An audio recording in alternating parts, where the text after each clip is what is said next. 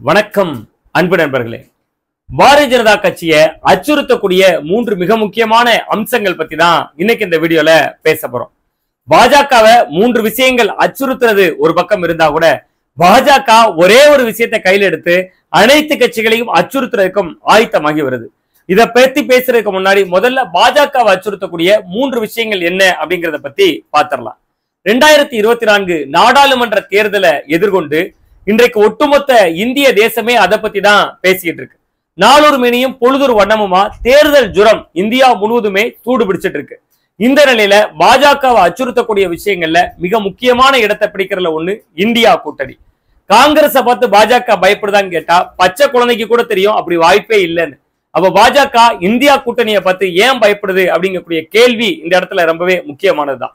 பாஜக பயப்படுற இடத்துலயும் இல்ல காங்கிரஸ் அவங்கள பயமுறுத்துற இடத்துலயும் இல்லை. அதே நேரத்துல காங்கிரஸ் வந்து வழக்கமா எதிர்க்கட்சிகளை ஒன்று திரட்டுறதுல கோட்டை விட்டுரும். ஆனா இந்த முறை ரொம்ப தெளிவா காய் நகர்த்தி பிரதான எதிர்க்கட்சிகள் அனைத்தையுமே ஒரு குடையின் கீழே கொண்டு வந்திருக்காங்க. இன்னும் சொல்ல போனா ரெண்டு பேரும் கம்யூனிஸ்ட் கட்சிகள் தமிழ்நாட்டை எடுத்துக்கிட்டீங்கன்னா ஒரு திமுக மாதிரியான மாநில கட்சிகளா இருக்கலாம் திரிணாமுல் காங்கிரஸ் கட்சியா இருக்கலாம் இது எல்லாத்துக்கும் மேல காங்கிரஸோட கூட எப்பவுமே முட்டிக்கிட்டும் மோதிக்கிட்டும் இருக்கக்கூடிய ஆம் ஆத்மி கட்சி கூட இந்த முறை இந்தியா கூட்டணிக்குள்ள வந்துருச்சு. இந்த கூட்டணி ஒன்னும் தேராதுங்க தப்பாதுங்க அப்படிங்கிற விமர்சனத்தை எல்லாம் தாண்டி வெற்றிகரமா மூன்று சந்திப்புகளையும் நடத்தி முடிச்சிட்டாங்க இந்தியா கூட்டணி கட்சியினர். இது காங்கிரஸை பார்த்து பயம் தரல.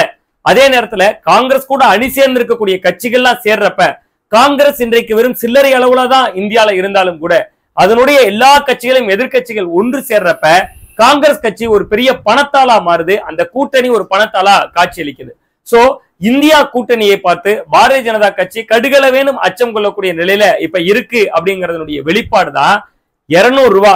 யாருமே பெரிய எதிர்பார்ப்பு கோரிக்கைகள் எதுவுமே வைக்காத நிலையில திடீர்னு வீட்டு சமையல் எரிவாயுவினுடைய விலை குறைக்கப்பட்ட விஷயம். அதை ஒரு உதாரணமா இதுக்கு நம்ம சொல்லலாம். சோ பாரதிய ஜனதா கட்சியை அச்சப்படுத்துகிற மூன்று விஷயங்கள்ல இந்தியா கூட்டணியும் முதலாவது இடத்துல இடம் பிடிக்குது.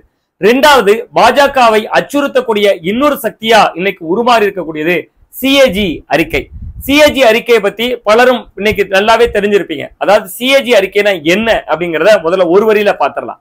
அதாவது மத்திய அரசுக்கு கீழே இயங்கக்கூடிய மத்திய அரசினுடைய தலைமை தணிக்கையாளர் ஆடிட்டர் அவருக்கு வெளியிடக்கூடிய அறிக்கை தான் சிஏஜி அறிக்கை. பொதுவா அந்த சிஏஜி அறிக்கையில என்ன பண்ணுவாங்கன்னா ஒரு பாராளுமன்றத்துல முதல்ல தாக்கல் செஞ்சு என்னெல்லாம் பணி செய்ய போறாங்க அப்படிங்கிறதுக்கான நிதியை ஒப்புதல் பெற்று அதனுடைய ஒரு நகலை என்ன பண்ணுவாங்கன்னா அரசுக்கு அனுப்புவாங்க. இன்னொரு நகலை தணிக்கையாளருக்கு அனுப்புவாங்க. இன்னொரு நகலை குடியரசுத் தலைவருக்கு அனுப்புவாங்க. இந்த பணிகள்லாம் முடிஞ்ச பிறகு நிதி எப்படி ஒதுக்கப்பட்டுச்சு என்னெல்லாம் பணி செஞ்சிருக்காங்கிறத மதிப்பீடு செய்து மறுபடி தன்னுடைய அறிக்கையை அனுப்புவாரு தணிக்கையாளர். அப்படி அனுப்பப்பட்ட அறிக்கையில தான் எழுபத்தி ரெண்டு லட்சம் கோடி ரூபாய் முறைகேடு நடந்திருக்கதா ஒரு பகீர் குற்றச்சாட்டை கிளப்பி இருக்கு அதை வந்து தணிக்கையாளருடைய அறிக்கையை மையப்படுத்தி எதிர்க்கட்சிகள் கிளப்பியிருக்காங்க.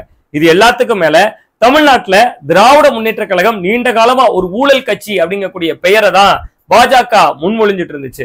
பொதுவா அதுக்கு எப்படி எதிர்வினையாற்றுறதுன்னு தெரியாம திமுக ரொம்பவே தடுமாறிய காட்சிகளை எல்லாம் நம்ம கடந்த காலங்கள்ல பார்த்தோம்.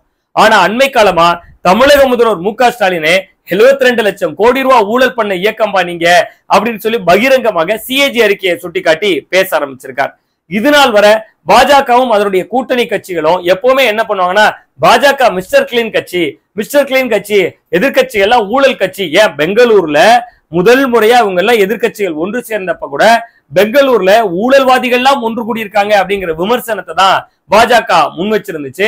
ஆனா இந்த நேரத்துல சிஏஜி அறிக்கையினுடைய வெளிப்பாடும் பாரதிய ஜனதா கட்சிக்கு அச்சமூட்டுகிற விஷயங்கள்ல இரண்டாவது பட்டியல்ல இடம் பிடிக்குது.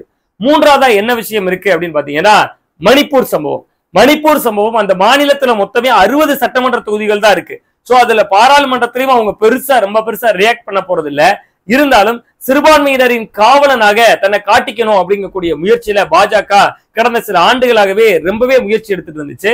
அந்த முயற்சியில ஒரு லோடு மண்ணை போட்டா எப்படி இருக்குமோ அப்படியான ஒரு ரியாக்ஷனை மணிப்பூர் சம்பவம் ஏற்படுத்திருச்சு.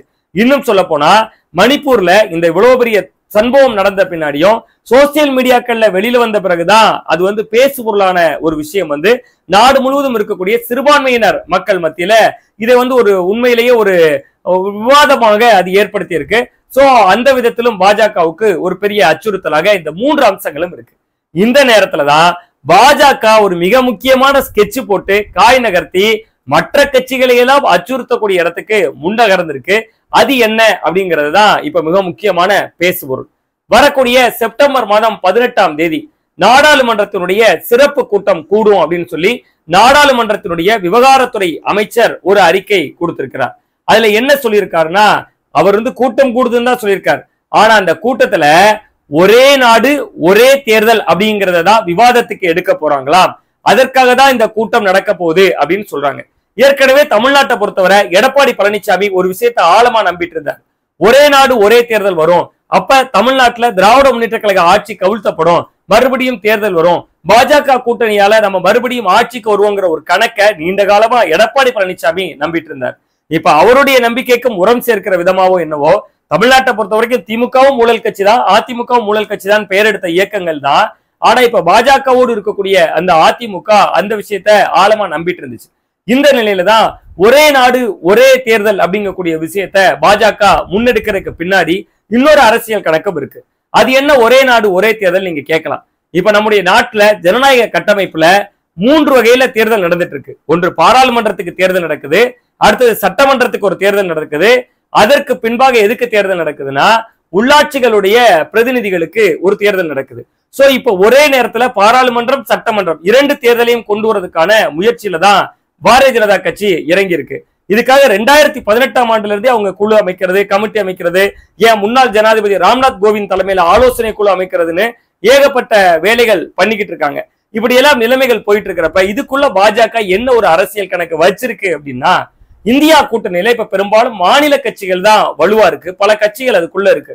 ஒரே நாடு ஒரே தேர்தல்னு கொண்டு வந்து ஒட்டுமொத்தமா பாராளுமன்ற தேர்தலை சந்திக்கிறப்ப மாநில கட்சிகள்லாம் தங்கள் மாநிலத்துல ஆட்சியை தக்க வைக்கணும் தாங்கள் ஆட்சி கட்டிலுக்கு வரணும் அப்படிங்கக்கூடிய ஒரு நெருக்கடிக்குள்ளாவாங்க. அந்ததுனால அதை நோக்கி அவர்களுடைய கவனம் போகும். சோ பாராளுமன்ற தேர்தல் நம்ம ஈஸியா வந்துடலாம் அப்படின்னு பாஜக ஒரு கணக்கு வைத்திருக்கிறதாவும் சொல்லப்படுது. இப்படி இதனால் ஒரே நாடு ஒரே தேர்தல் என்கிற அச்சு அச்சுறுத்தலை பாஜக எதிர்க்கட்சிகள் மேல திணிக்கிறதுனால எதிர்க்கட்சிகளும் அந்த விஷயத்தில் பயந்திருக்காங்க. இதில் யாருடைய வியூகம் பலிக்க போகிறது என்பதை நாமும் பொறுத்திருந்தான் பார்க்க வேண்டும். மீண்டும் ஒரு நல்ல காணொலியில் உங்களை சந்திக்கின்றேன். நன்றி வணக்கம்.